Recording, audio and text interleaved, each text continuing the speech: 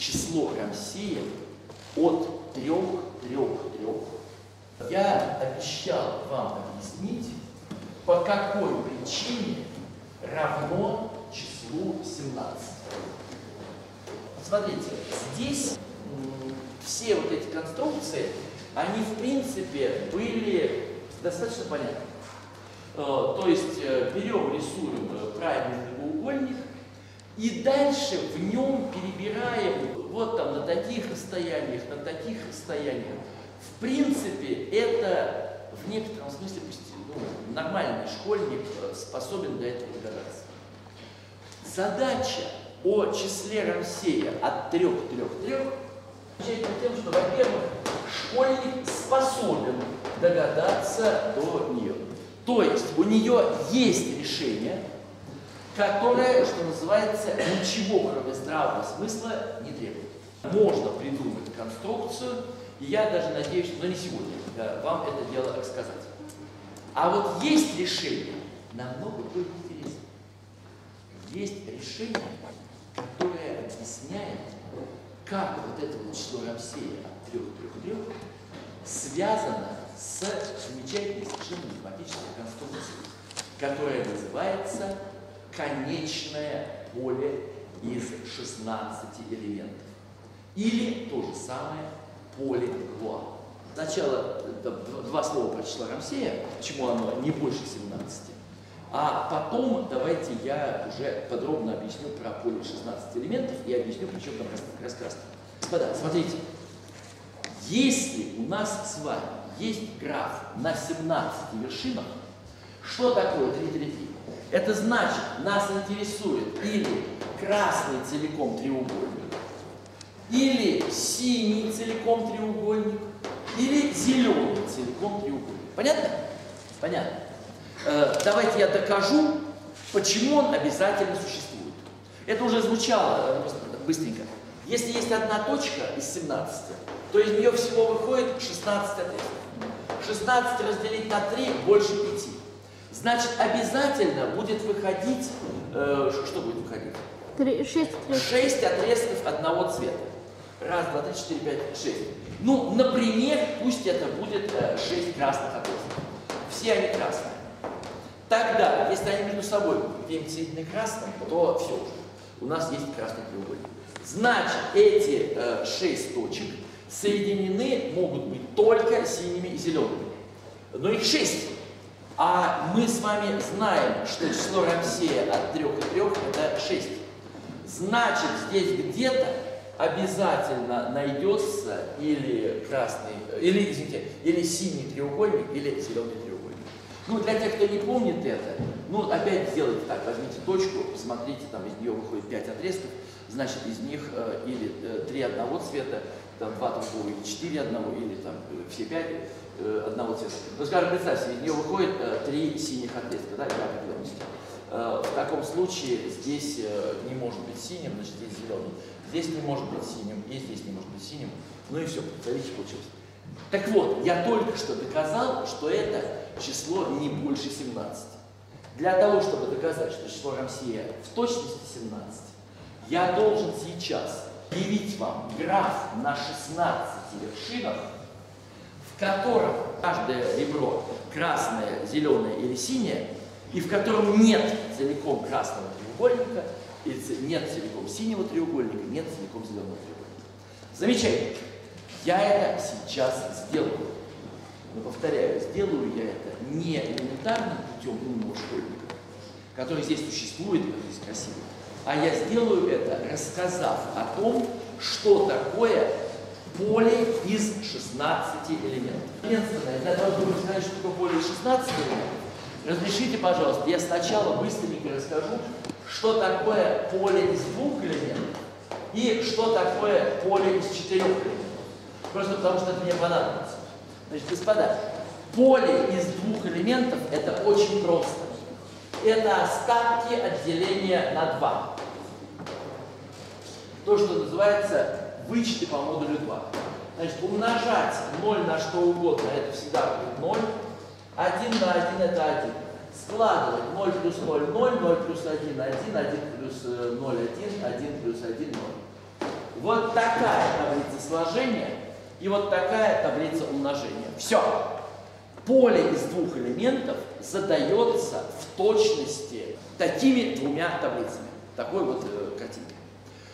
Сейчас давайте разберемся, что будет, если мы добавляем к полю из двух элементов еще, собственно говоря, да, еще какой-нибудь. Вообще, надо для начала объяснить, что такое алгебраическое расширение данного поля. Давайте я это объясню таким образом. Вот что такое корень из двух? Вы прекрасно знаете, это нужно нарисовать э, треугольник э, прямоугольный с катетами длины 1. И вот длина этого отрезка, это как раз будет корень. Отлично. Но это здесь А представьте себе, что нам запрещено пользоваться геометрическими э, конструкциями. И нам нужно объяснить э, какому-то алгебраисту, что же такое корень из двух. Тогда мы на самом деле ему скажем. Знаешь, вот пока просто корень из двух написан, вообще ничего делать не надо. Корень из двух замечательное число. Считай, что уже это ответ. А вот когда увидишь где-нибудь корень из двух умножить на корень из двух, то что обязательно должен сделать? Заменить на Два. Два. Господа, а как-то вы, э, на самом деле выглядит по-другому. Да. Плюс, по-моему, два. Хороший вопрос. Хороший вопрос. Бывают четные числа. Четное бывают число нечетные по модулю числа. 2 равно Сумма нулю. двух четных чисел четна, сумма двух нечетных чисел четна. Сумма четного или нечетного числа нечетна, сумма нечетного и четного числа нечетно. Произведение нечетного числа нечетное число нечетно. Произведение нечетного числа на четное число четно. Произведение двух четных чисел. После того, Потом как сломался. вы поймете, вы придете сюда и больше не спросите, почему 1 плюс 1 это 0. Это то же самое имеет. На сопротивлениях Мысленно 1 плюс 1 это одна должны вторая. себе представлять, что 0 это значок четко. 1 это значок нечетко. Соответственно, там написаны правила о четных и нечетных числах. Понятно, да? Сумма там двух четных такая, двух нечетных такая, четных нечетных такая, произведение такое. И действительно так и будет для четных и чисел. Понятно? Вот, а, на самом деле дальше хуже, потому что бы вам еще понимать, что бывает не только четные и нечетные, а бывает такое понятие, как остаток отделения на 3. Отделение на 3 бывают три остатка. 0, 1, 2. И для них можно нарисовать такую же табличку. И остатки тоже можно складывать, и остатки тоже можно перемножать, понятно? Не забывай каждый раз. И вот если это все прочувствовать, то тогда станет понятно, почему поле двух элементов это именно так. Ответил вам? Отлично. Теперь давайте вернемся. Значит, господа, итак, корень из двух это что такое? Это такое число, что если его умножить на себя, то получится двойка. Вот обратите, пожалуйста, внимание. Можно относиться к этому просто как к символу. Вот давайте просто считать, что это такая одна картинка. И вот эта картинка, умноженная сама на себя, даст двойку. Как это еще по-другому объяснить? Значит, когда видишь, что возводится в квадрат это число, пиши двойку. Ну, Вот так. Хорошо? Э, Итак, я хочу, чтобы у меня поле вместо двух элементов стало бы содержать сколько? Четыре. Четыре. Э, Там, конечно, должно остаться число ноль. Там должна остаться единица, но там еще должен добавиться какой-нибудь символ. Давайте я его обозначу буквой альфа. Замечательно. Но если у меня альфа есть, то альфа плюс один, конечно, тоже должен быть. Ребята, и вот кроме этого ничего быть не должно. Таблица сложения. Таблица сложения. 0, э, 1, здесь альфа, здесь альфа, э, и здесь у меня э, альфа плюс 1. Замечательно, замечательно. Вот сейчас я попытаюсь, я не знаю, что такое альфа, но я попытаюсь как-нибудь заполнить эту табличку, чтобы выполнялись естественные правила действия. Ну, например, как вы думаете, сколько будет 0 плюс 0? Ноль. 0. Это, конечно, не, от- не следует, но вот я хочу, чтобы та табличка у меня целиком пошла в этого. Значит, 1, 1, 0. Замечательно. А сколько будет 0 плюс альфа? Альфа. А 0 плюс альфа плюс 1? А альфа плюс 1? А альфа плюс 1 плюс 1? 0. Нет, не 0. Альфа плюс 1 и плюс 1. Альфа, потому что 1 плюс 1 это 0, а альфа остается. Отлично. Заметьте, я не знаю, что такое альфа. Это примерно так же, как если бы меня сейчас пустили сдавать э, экзамен японского языка. Я слышу, что кто-то там поздоровался с преподавателем, и я так же. Понятно, да? Я не знаю, что это такое, но так на всякий случай. Вот. И я не знаю, сколько-то секунд я вот там продержался. Вот и здесь мы то же самое, пытаемся сколько-то секунд продержаться. Итак, 0 плюс альфа, альфа, 0 плюс альфа плюс 1, альфа плюс 1, замечательно. Альфа плюс 1. Смотрите, а это получается сдавать экзамен? Альфа плюс альфа сколько? 0, конечно. Конечно, хочется, чтобы это был 0. Альфа плюс альфа плюс 1. Ну мы договорились, что альфа плюс альфа 1. 1. Альфа плюс альфа плюс 1 по традиции 1. Альфа плюс 1 плюс альфа плюс 1. Ребята, вот это называется прямая сумма двух групп вычетов по модулю 2. То есть э, вообще в математике принято это обозначать так. z2 э, плюс э, z2. Э, Имеется в виду следующее. У нас есть числа 0,1 и у нас есть числа 0 альфа. Ну и можно из них сделать еще альфа плюс 1. Вот, смотрите, каким забавным свойством обладает эта табличка. В каждой строке все элементы присутствуют по одному разу. В каждом столбце все элементы присутствуют по одному разу. Вот, э, хорошо. Э, Теперь дальше намного интереснее. Э, Мы их сейчас перемножать должны. 0, 1, альфа и альфа плюс 1. Ребята, сейчас выяснится, что, как ни странно, опять-таки довольно многое мы уже можем написать просто из общих соображений. Ведь на 0 умножать что угодно, хочется, чтобы ответ был все равно 0. Здесь я сразу пишу 0. Э, Здесь я тоже пишу 0. На единицу умножать желательно, чтобы ничего не менялось. Значит, здесь тоже, да, альфа на единицу это альфа, альфа, альфа плюс 1 э, на единицу это альфа плюс 1. Отлично. Альфа квадрат Вот она проблема. Альфа квадрат. Что это такое? Альфа плюс один. Давайте подумаем. Может ли так быть, что альфа квадрат это у нас альфа? Нет. Дело в том, что альфа это не ноль. А если мы хотим, чтобы все было как в обычных числах, то можно сокращать. Сократим, получим, что альфа равно единице. Это безобразие.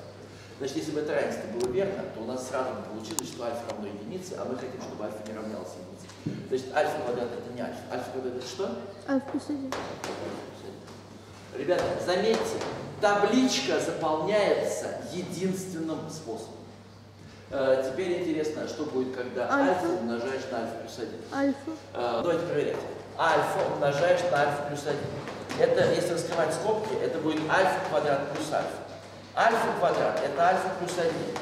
Э, альфа плюс альфа – это 0, здесь будет 1. Ну, по симметрии здесь тоже будет 1. Альфа плюс 1 в квадрат возводить. Альфа. Ну, это легко. Э, альфа плюс 1 в квадрате – это есть что такое?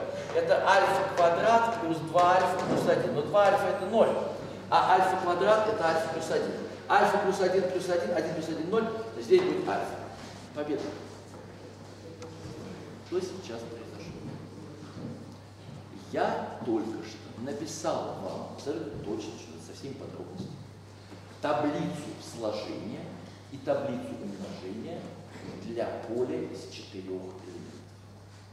На самом деле, великий французский математик Эвелин Булат, очень гармоничный, и, между прочим, так не сумевший поступить в университет. Какая замечательная была история, э, когда он э, аж два раза поступал, и оба раза э, не проходил экзамены, потому что там какие-то у него были проблемы с экзаменатором, то он считал, что вопросы слишком простые, э, то еще что-то. Ну, в общем, э, кому интересно, почитайте, это действительно удивительная биография. Вот, погиб он, в конце концов, на дуэли, в общем, никто не знает как. э, но умудрился успеть э, в очень юном возрасте написать э, совершенно замечательные математические э, работы. Совсем мало, но тем не менее, действительно, эти работы очень-очень сильно воздействовали на всю алгебру. И вот в частности, конечные поля, это, что называется, он придумал, да? Э, Конечно, если бы его не было, все равно бы их придумали.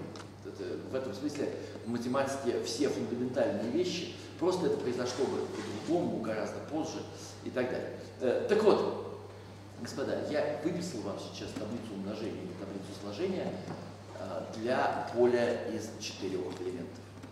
Сейчас я должен рассказать, э, каким образом, исходя из поля, элемента, я построю поле, в котором 16 элементов. Давай еще. Сразу скажу, на малом мехмате была уже прочитана лекция, в которой то же самое я рассказывал гораздо подробнее в течение часов. Я там объяснял, что теоретически некие вещи да, по этому поводу. А Там мы по-честному строили поле из трех элементов, и из восьми, и из девяти. То есть там было все. Кому интересно, советую посмотреть. И вторая вещь, которую я очень советую, это книжка Аршинов и Садовский «Коды и математика». Действительно интересная и очень полезная вам книжка. Повторяю, Аршинов, Садовский, «Коды и математика». Э, Там, э, собственно, про конечные поля мало написано, но зато там очень хорошо написано о разнообразных применениях, а это, пожалуй, даже поинтереснее. Ну, в общем, начнете ее читать, поймете, что я не зря ее посоветовал.